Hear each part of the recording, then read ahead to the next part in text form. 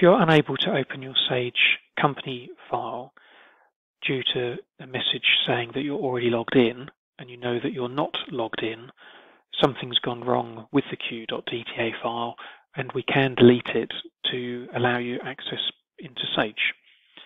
There are some precautions before carrying out this process, which is that you really do need to be sure that you're not logged in and you also need to be sure that none of your colleagues are logged in, otherwise you may cause data corruption. So we simply select the company that we're having a problem with. We press Open Folder Location. That will open Windows Explorer to the correct company path.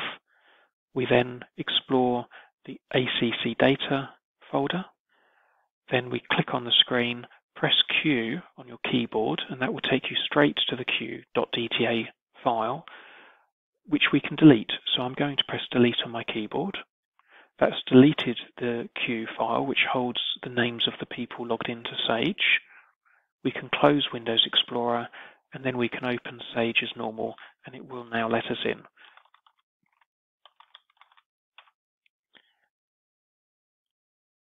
This error normally occurs if Sage has been closed incorrectly or not closed at all, and the computer's been rebooted or restarted. So just check that you and all of your users are exiting Sage at the end of each session of work.